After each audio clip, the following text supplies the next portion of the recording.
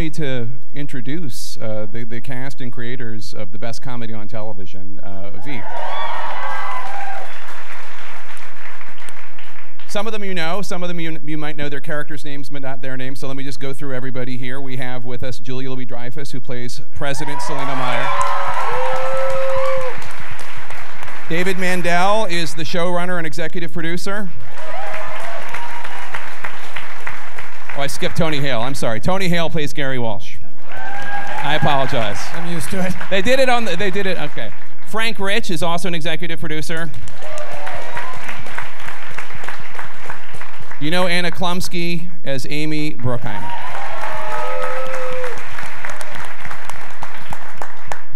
Do you know the character Jonah Ryan? Are you familiar with? Timothy Simons is here. Timothy Simons is here. And then we're going to go, I guess that's counterclockwise. Clea DuVall plays Marjorie uh, Palmiotti. Clea DuVall. Sarah Sutherland plays Catherine Meyer. Sam Richardson plays Lieutenant Governor Richard Splett. Gary Cole is, is Kent Davison. Kevin Dunn is Ben Cafferty. And Matt Walsh, you know, is Mike McLintock from McLintock. BuzzFeed print edition. BuzzFeed print edition. So um, it's such an honor. Uh, they, when HBO asked me to do this, I, I said yes in a second, and um, they sent me uh, links to all the screeners. I'm like, I've seen, I'm caught up. I know what happens. I'm just waiting for the last episode. Um, I will say the last time I was on a stage with a cast this big was um, the Simi Valley Republican primary de presidential debate. There were 11, uh, and this is 12 but we had Donald Trump, and so I think I'm okay. I think I can do this. Let me start with the question that I think a lot of people want to know, which is how's your health? How are you doing? I'm great. Thank you very much. Thank you. And I know that, that you worked uh, right through up until you, you couldn't work anymore, and then you came back. And tell, tell me about the experience of coming back after you had kicked its ass. Well, it was, um, I, I, said this actually, I've said this to these guys many times, but coming, coming back to the show and uh, having that sort of light at the end of the tunnel, of this very dark tunnel through which I was walking, was a, a lifesaver for me. Um, it, uh, it was, you know, to be thinking about making jokes and working on script and performance and so on and so forth was uh, just an absolute tonic uh, particularly when I was in the, the, throes of the most difficult times. So the the fact that I was that was came back, that everybody waited so patiently, that HBO waited so patiently and was so supportive, just meant the world to me. And and it's made it particularly difficult to say goodbye ultimately because um, it's that much. It, it feels that much sweeter, if that makes any sense. But, um, so I'm just one. I'm just a grateful girl. Well, I have to say, there's an ex- I feel like there's an extra energy in this last season. So if that's what that is, uh, part partly at least. Well, partly.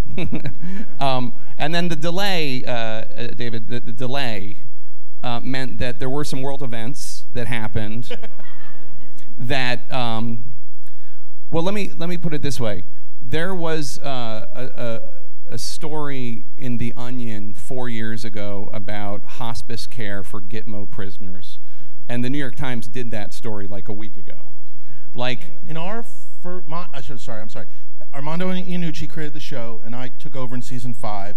And in our first season, we did a president tweets story. At which point, you went running down the hall like with your hair on fire. The president is tweeting, and it was funny and shocking and unheard of and that was a couple years ago. That's I mean, it, it just it and, it and it has gotten progressively worse since then. And it's incre- it's incredible to think, Tim, the uh, Jonah's anti-vax uh, campaign platform. Um, thankfully, the current president, who used to be an anti-vaxxer, uh, is no longer at least saying. We don't necessarily know that he isn't anymore. Well, he, said the right thing the other day, and I'm setting the bar very low these days. Yeah. So that's fine. he said, "Get your kids vaccinated for measles." So I was happy with that. So, but I mean, Then he's going to be in a room with measles and be like, measles made a really good point. You know, like whoever talks to him last, whoever talks to him last will be like, I don't know, maybe we should, maybe should, a bunch of kids should die. There literally was a headline in CNN yesterday about a kid who was suing so he didn't have to get the chickenpox vaccine catches the chickenpox. Literally, that was a plot line like a week ago. Yeah. I, I don't. I don't. I, I don't. I don't. I, I think all of us don't. We don't want We these things to come true. like, we sit in a room trying to think of what's the craziest, stupidest thing that could ever happen that we don't have to worry will never happen. Yeah. And they're coming true hourly. There was this one from today about like the end of episode, the episode that you guys just watched, the thing about uh, uh, Jonah saying like you know diseases come from immigrants and and and somebody just yells kill them. And, and That happened like- last and- night in Tallahassee, And even yeah. Jonah Ryan has the good sense to be able, not all of them. Like there are two or three good ones, and he like lists them off. Like our current president, when that literally happened at his thing last night, he was like, "That's a great joke." Like somehow the dumbest dude on television is smarter than what's happening. I don't. I'm. I know it's not funny. It's not funny at all. I'm. It's kind I'm kinda in a crisis. I mean, like, yeah, Uh, yeah. Well, I thought of it, uh, uh, Julia, when um, your character in, I don't know if it was episode four, but this season, well, she's being attacked for her husband being so corrupt, and she immediately starts ha- attacking her opponent's husband for being corrupt. And I thought about t- that today when President Trump started attacking Adam Schiff for being a con man. I'm serious. Like, I can't even. Was that a euphemism for uh, Jewish? I, don't- I'm, I'm, I don't think you're so. at the 92nd Street Y. now you tell me.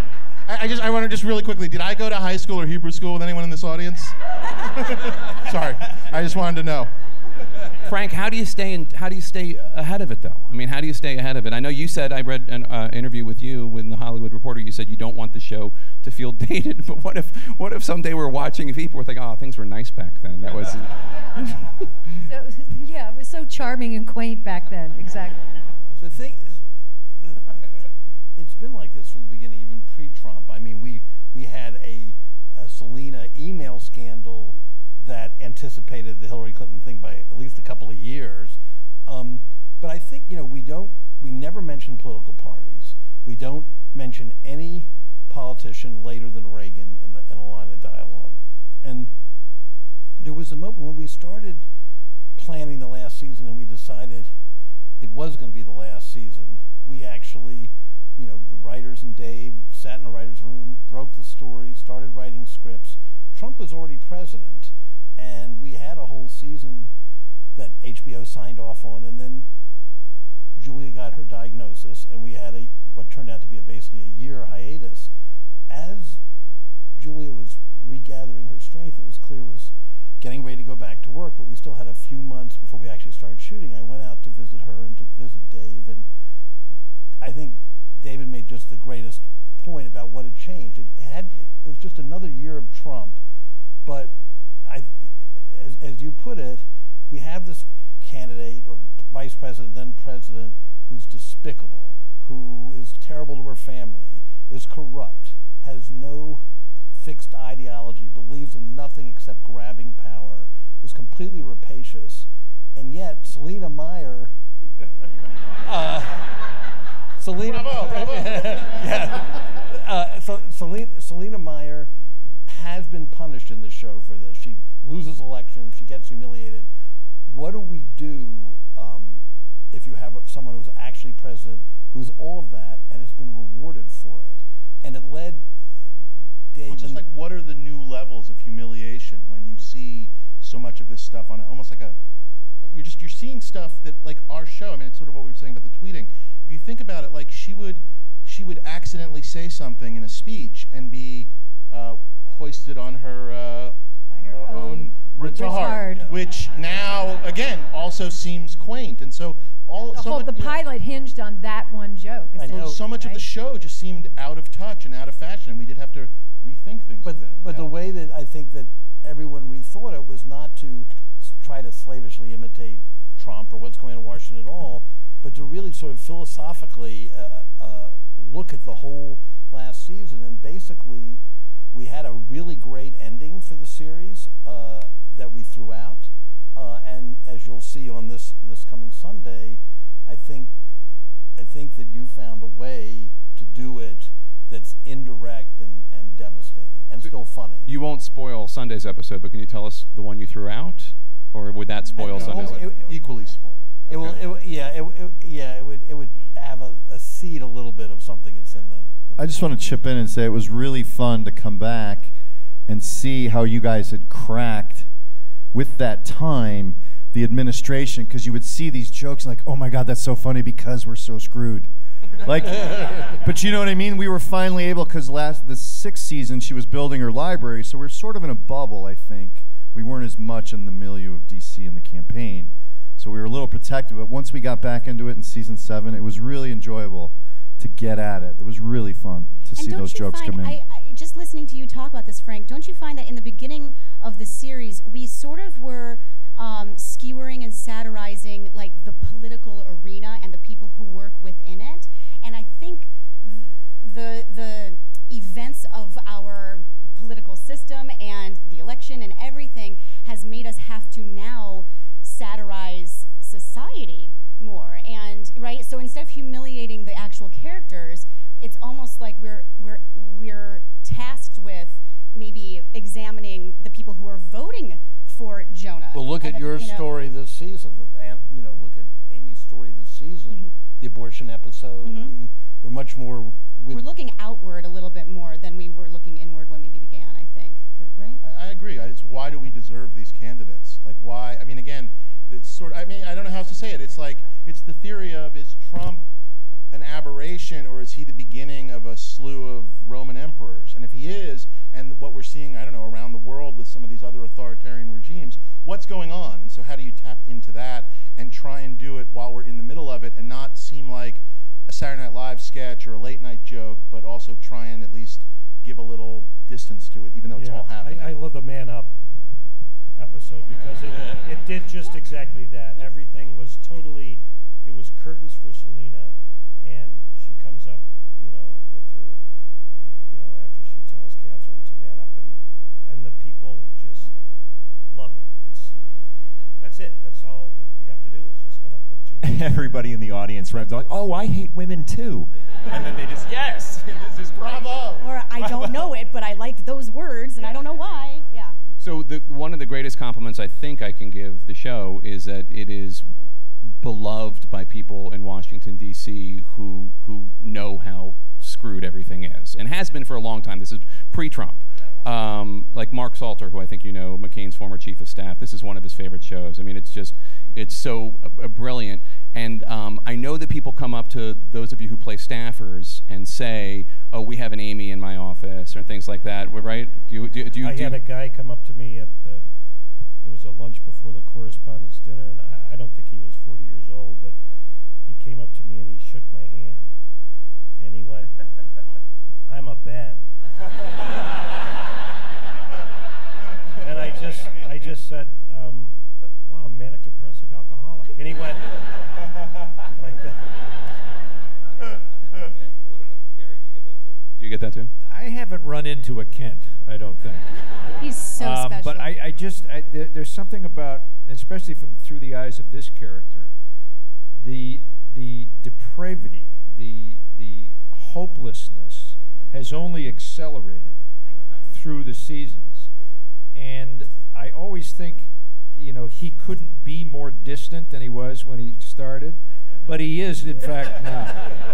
You know, he's really retreated, it, at least in, in his own head, and he, he just. Um, but it doesn't seem to, you know, affect his uh, uh, emotional health. I think Elon Musk is coming up with a Yeah, yeah. yeah. Sarah, have you has have any offspring of presidents or senators reached out to you to talk to you about being the, the character you play? No, no offspring of presidents, but I've definitely had a fair share of interactions with women who've told me that their relationship with their mother is comparable to Catherine and Selina's, which is That is so depressing. devastating. Yeah, I remember putting my groceries down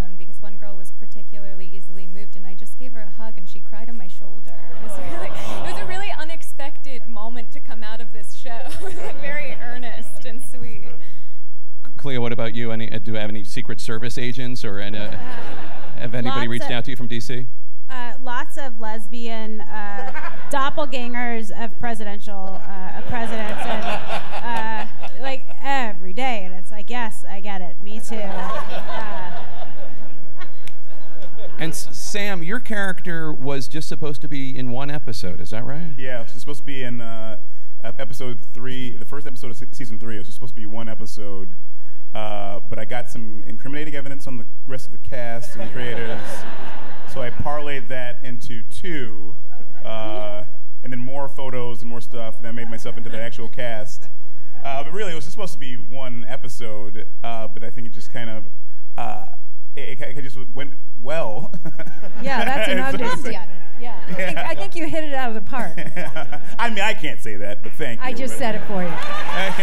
Someone, someone say You're it. amazing. You're amazing. It was in Iowa. He had the Iowa book book signing. You know, one that one story I like to tell about our show, which gives me a lot of pride, um, is that um, I had the great good fortune of meeting uh, Supreme Court Justice Elena Kagan a couple, yes, a couple years ago, and uh, actually a few years ago now. And um, at that time, um, uh, Justice Scalia was still with us, and uh, she Yeah. Oh, sorry. and she told me that uh, she and uh, Tony would get together every week and uh, after Veep to have lunch and talk about the episode, which is pretty cool, I think. You know. Am I correct in remembering too that your mother and Scalia shared a trainer in Yes. D.C. and that and that the trainer was the go-between to get you to autograph a picture? which I actually refused to do. yeah, stick it to the man. we saw how that ended. Um, so I, I don't. I, I, this is very important. So I do want to do this at some point, and I, I want to do it now before I forget. Which is, I really would like to know what everybody's favorite insult is. Um, uh, and I, I assume everybody here is okay with curses, or you wouldn't be here.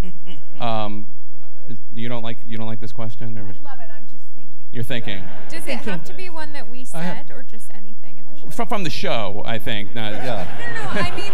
Oh no! Anybody could have said it. You, your character, not your character, doesn't have to have said it. I think mine is, I mean, most of them go towards sweet Timothy Simons, which is very sad for Jonah, but mine favorite was um, Frankenstein's monster if the monster was made entirely of dead dicks. that is just so good. And actually, I think Zach Woods came up with that one. I think another came one up with a was uh, for me was uh, it's a mistake, like when Bigfoot raped your mother Are these all gonna be Jonah? and you were born. My, my favorite, I mean, one of my very favorites always was um, that's like uh, trying to use a croissant as a dildo. Um, and it's, it, doesn't do the work. job and it makes a do the job fucking and it makes mess. a fucking mess.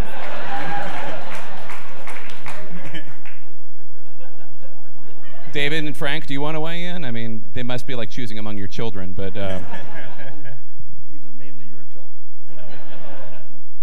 um, I, I did enjoy. Uh, I'm s- sorry, Tim. The No, it's it's okay. I mean, by this I- point, if I, I- was uh, still upset about it, you know, but uh, the the melted putty on the flag. melted Play-Doh stuck to a flagpole. But I, I also did really recently. I did enjoy when Furlong, Furlong, his entire run when he came into the Florida office and said, Brookheimer, after you get an abortion, you're not supposed to dress it up and run it for president. and, and then, and then That is some- asked that your is some wife dark business. What, what rape dungeon she crawled out of, and then told you to have a nice. Uh, pro- Weepy I slide. weepy the slide down, down the, the shower, shower wall. Shower wall.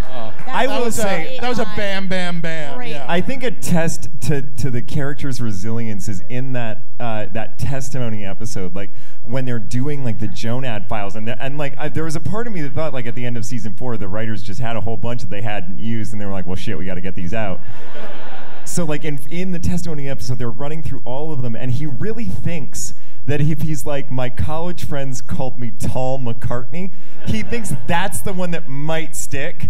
Like he has the he has the thing like oh no I know how to I know how to beat this I know how to get around this. It's Tall McCartney. So I've always been a big fan of that one. He's full of hope. He has hope. I want everybody to weigh in on this. I, I, I just remember one that didn't make the show was I, I called you Herman Kunster. Wasn't that an alt to Hunter S. Thompson? Because I was, I was like, Yeah, because a I, good one. yeah. Gary, you have. I, I stick with the Hall of Fame one, which is uh, uh, uh, now I forgot it. Jolly, yeah, Jolly Green Jizz Face. Followed by Long Tall Sally, both men for Tim. Sam, you, you got one? I mean, I think like the wrong shape. It's all Just right to the point. Just like they, call, they say Jonah's just the wrong shape. S- Sarah? Um, we were talking about this earlier that where someone says, "Where did AIDS come from?" and Mike says, "I think some guy fucked a monkey." that one gets me. There was more context, but yes, that was the joke. there was the joke. The context is a kid has AIDS or something like that. Yes, And then there's- Selina says, "Where did AIDS come Well, from?" Mike, where's all this AIDS coming? From? Where did all this AIDS come from? I don't know. Some guy fucked a monkey.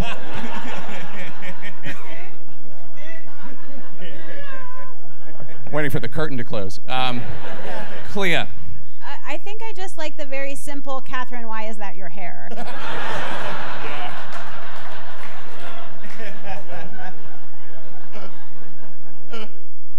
Ju- Julia, you haven't weighed in. I don't know. I know because I just love all of these things so much. It's very hard to pick one.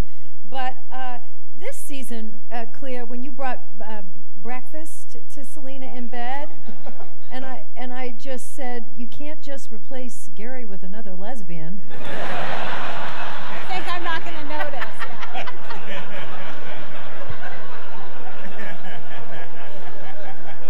there is every once in a while there are those and i'm not it's not really an insult directed at anybody but one of my favorite uh, one of my favorite ones from the whole run was in this season as well speaking of lesbians is like when you're like can somebody get me a real green juice i'm drinking odwalla like some country lesbian who just moved to the big city and i'm not sure who that's insulting Again, we're going after society. Tim, that was actually. Tim. That was actually about you. Sorry. oh god uh, How many- tall, how tall mccartney How many writers are there on the show? How many people in the writers' room? Um, we have uh, one writer who kind of commutes a little bit still between London, so she's not always with us, and we have one writer who is with us during the summer and then goes back to SNL. But most of the time, there's like I think like sort of 12 or 13. And one of the real luxuries, and I'm always happy to say this, is on most shows the writers go away very quickly, and HBO has always been really incredible about basically letting us hold on to the writer's staff. So basically, as we're doing a scene, as the actors are working on a scene, I, I just have a I have a staff of people. Just any any just moment of silence, anything that's not working, just we're just constantly throwing new jokes into the scene and at these people, and they're rolling with it and adding them, and it's part of why everything gets to be so jam packed in a really great way. And I might add, just to, it's such a great part of the process. Even before we get to that point of people throwing stuff in at the last minute on set, there are alts. Explain the process of alts because it's, It's just it's basically like on any scene that we're shooting in a given day, basically, especially like the night before. Julia, will- Julia will go through and I'll go through and kind of identify any areas, things that maybe aren't hitting yet, or even just things like we like this, but maybe something else, or maybe we've, you know, and believe it or not, we do sometimes say to ourselves like, boy, we've had a lot of dick jokes this week. Maybe maybe this dick joke could be something else. Or we defuck a script. Right. We will go through Fuck, yeah. and just try and take out, especially if we're just saying fuck for no good reason. If it's an exquisite fuck, we want it. But if someone's just like sometimes just throwing a fuck into a scene, we'll pull that out. We'll either try and do it in there or we'll do it in the editing too. Yeah. But uh, but the, so the writers will basically just sort of as, as we get to every scene, I'm sort of almost like hit with like almost like a phone book of choices, and I get to kind of go through and uh, so it's just it's just a process of constantly trying to every stage of the show, I guess I will say, is we're all constantly just trying to make it better. It, no matter One of our- right till the end. One of our writers was promoted off of alts, right? Do, I- do Yeah, I know one that of story? Our, uh, She Yeah. started as a writer's assistant. Her name's uh, Amelia. Amelia Baro- Barossi. Is that how you pronounce Barras. it? Barras. Sorry. Yes, that's Um, right. And she was a ri- she was answering the phones, and at some point or another, because all the submissions are sort of blind, not for any particular reason, but I don't care. It's just a joke's a joke. And at some point or another, it was sort of like that was like Amelia's tenth joke in, and so when we came back this season, we made her a staff writer. I mean, as as well as well you would, but I mean, she was killing it, and it's just jokes are jokes. I don't, you know, we'll take them in from anywhere. She's now in line to succeed Les Moonves at CBS. And how much uh, does improv play a role at all? I don't know how many of the actors even come from uh, improv tradition. Well, in the beginning of the, oh, something's happening. Oh.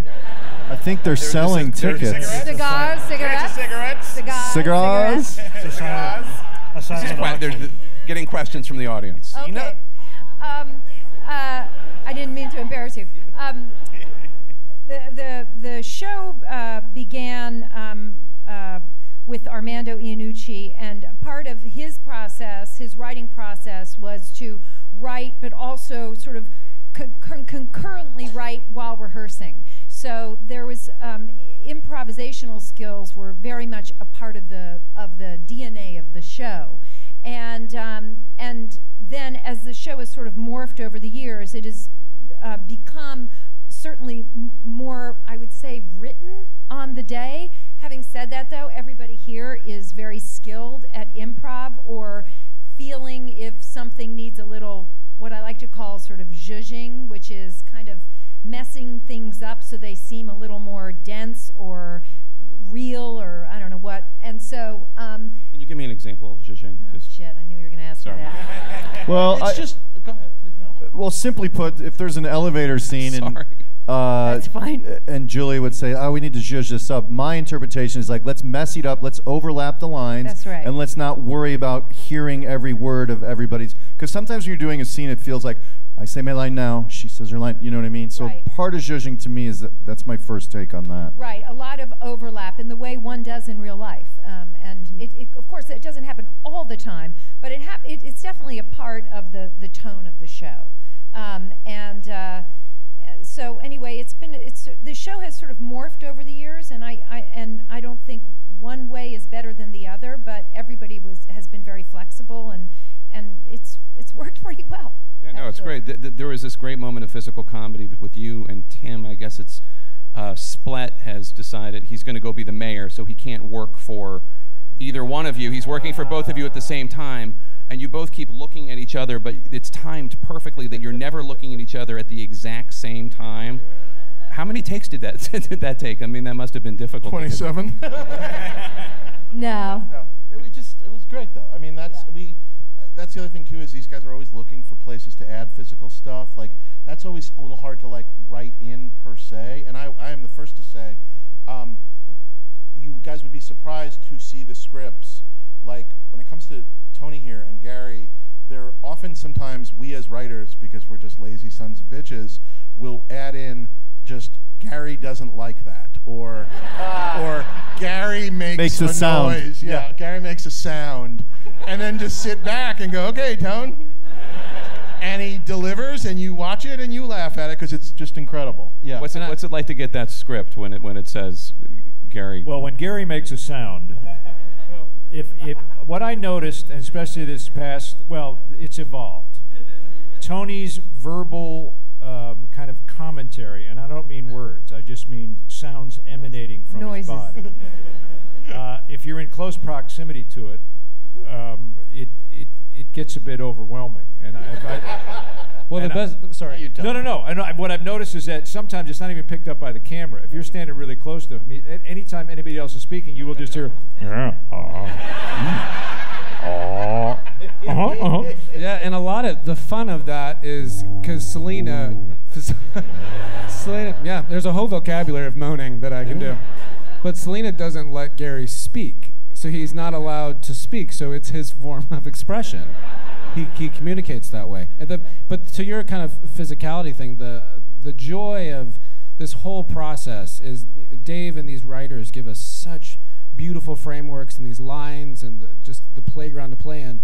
And then, but when we get on set, it's so fun to be like, okay, how can we bump this up and make this crazier? So like she'll be like, okay, I'm gonna drop my coat and then you dive in and grab it here, or I'm gonna do, I'm gonna get my arm caught here. I'm gonna get do something with the purse just to try to find that physicality and that time when I caught you over the banister and like pulled you up. It's like that is like ah, uh, and the, that kind of chaotic choreography. I'm gonna really, really miss that. Really miss yeah. That. And also when we're very close to one another, and like the when I yeah. fed you in your bed. Yeah. Which was the pasta, dream. the pasta sandwich. Yes. Yeah. Yes. That yes, was yes. pretty.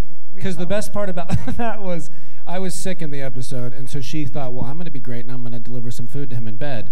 And she grabbed a cold chicken sandwich out of the refrigerator, cut it up, and put it on stale pasta. Yes. And continued telling me about the chef cooking you salmon, Salmon and asparagus. asparagus, and how delicious it was. yes. And I said, I, that sounds great. I think your exit from the presidential library display is Over the wall? That I, o- over the wall. Yeah, was the- The one little of the divider. most brilliant Oh, pieces of Hardcore physics over the wall, yeah.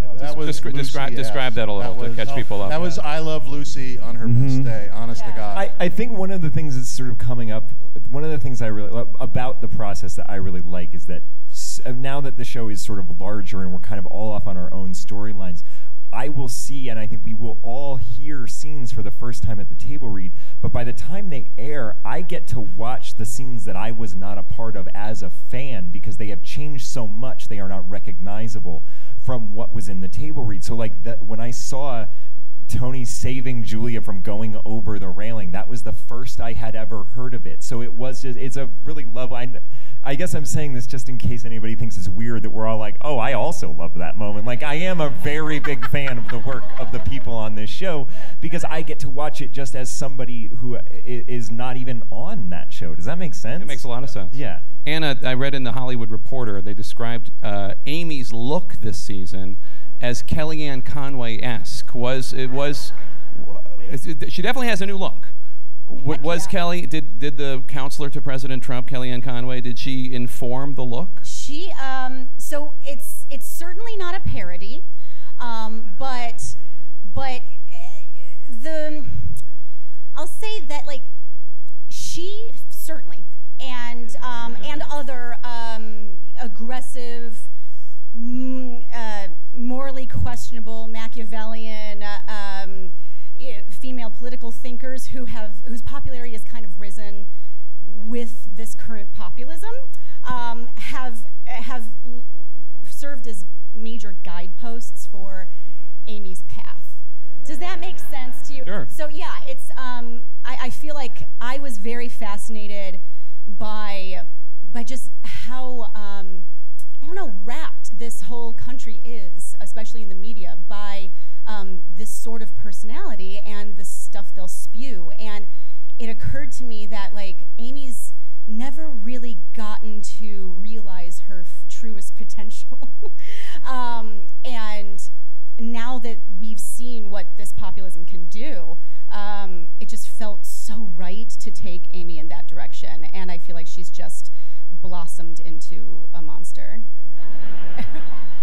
Julia, do you think that this season is more nihilistic or tougher or or the jokes are edgier? Do you think it's different than previous seasons? Oh, absolutely. Yeah, it's extreme. It's much more extreme than it was even the season prior. Um, and uh, you know, but extreme times call for this kind of extreme comedy, and um, uh, uh, you know, we're sort of re- it, it, it's it's this is the culture we're living in, and like we say, we're not doing a parody. You can't tell what party we're in, but um, we have had to push the edge of the envelope and then some. I will say that the vast majority of the material we've done this season would never have flown in season four or three or even five. But uh, not to whatever, but to go the other way for a second. If we were doing, if this season that was currently airing, if like we were just doing a version of, i'll just simply say, season five, and pick any season, I don't think you guys would be watching. You would go like that. Just seems out of touch and dated and like weird because all so many of the what the DNA of the show had so so much of it, like all the things that were shocking, were are no longer. I mean, it sort of goes back to the tweeting thing. It's just like again, the foundations of the show were let's peek behind closed doors and see what these politicians are really like. There are no closed doors. This notion of secretly uh, politicians talk dirty. Again, you know, it's just like that's not a secret anymore. I mean, so so it works sort of in a very sort of both ways, unfortunately, or, Art or re- rightfully. rightfully so. Art yeah. reflects life, satire reflects life, and that's what that's what we've done, especially Right. with the tone. the plot line of the Chinese uh, putting 25 million dollars into the right that like four seasons ago, two se- three seasons ago, people would have been like, "That's silly." It's just- it's- where's that coming from? That's just, that would never happen. What does satire mean again? I'm sorry. Nobody knows. Okay. All right. Also, um, what we've done with school shootings uh, this, and, and mass shootings this season. We couldn't have done that a couple of seasons ago. Well, let me ask you about that because because I, I um, that's obviously thank you. Whoop. There are no cards, people. Throw them out. Throw them out. That was a really smooth transition. That went really well. Uh, the- the- I, want, I do want to ask you about that because that was that was something of a risk to to to make a comedy moment about just like how many horrific shootings there are in this in this in this country. Was that did that did you think twice about it? Was it something you discussed, or was it just like this is America, we're making fun of it, and people need to deal well, with it, it? I wouldn't say that that came easy necessarily. I mean, uh, I, I- you, would you agree with me that I mean we, the writers for sure, and all of us and Dave thought long and hard about how to to exactly stick that landing of a theme of a joke.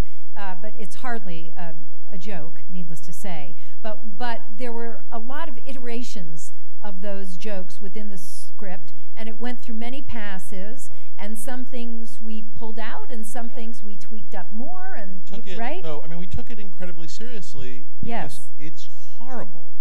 And I will also point out that it was a script where there was an incarnation in 2017, pre-cancer, that had, I think, a shoot, like maybe one shooting joke in it, like like in, a, in Right. passing. And it was when we came back a year later, only like basically 365 days later, and there had been as many shootings and as there had been, and as and they had gotten just so much more horrible. The, so many schools and Las Vegas and all of these things, where it, just, I mean, again, it was it was dangerous, but you know, we took it seriously and felt Yeah. the horror is the matter of factness, and that's and in a way, if we can, we're not asking anyone to laugh at school shootings, we're asking why are politicians not paying attention? Of course. Yeah, no, no, I, I mean, I'm just saying, and so we, we took it incredibly seriously, but just felt like, I don't know, for me, it, it felt like, if not us, who? I, I'm, I, that's my honest opinion. As Rabbi Hillel once said, I believe. And I, and I, that's upstairs. I, I'd make one other point too, which is it's we did it while being consistent to the characters in the show. One of my favorite moments in, at the very top of the first season is when Selina thinks the president has had a heart attack and may be dying, and she's so excited that it might allow her to run the situation room. And of course, it ends with you don't even get a souvenir pen from it. But it's consistent with Selina this season thinking, how can I use this tragedy of a, of a school shooting to, eh, you know, to, to enhance my power to solve a political issue? So it's a straight line there, even if the, the details have changed with the news. Julia, let me just ask you because you've played Elaine Benes, who's beloved, you've played Christine, who's beloved. Um, was it liberating or weird to play a character who's just such a horrible person? Oh, completely liberating. I, I mean that. I didn't mean it to be funny. I mean, it really, uh, to play someone who has no, uh, uh, there are no restraints, uh, even though she's frustrated. But she has an ego that's utterly out of control. I mean, I call her, she's a toddler in, in middle aged garb. And, um, and, uh, so yeah, she has no no sense of responsibility or uh, uh, towards anyone around her or humanity. Uh, she is not a good citizen, and uh, she only thinks of herself. So the idea of tapping into that kind of extraordinary ego, undeveloped ego, was just heaven on earth. All right, let me get to some of the questions from the uh, nice people in the audience. Would Selina defeat Trump in 2020? Well, Trump is not in Selina's world, so pass on that question. Will Mike begin a new journey as an MSNBC contributor to Morning Joe? Uh, Mike would love that gig. He would love to be a, a news person and have a regular gig on television. Jonathan writes, Julia, what exactly is a jolly green jizz face? That guy right there. Paul McCartney. We're doing good. As a as a BuzzFeeder, my team is so impressed at how accurately you recreated our office and people.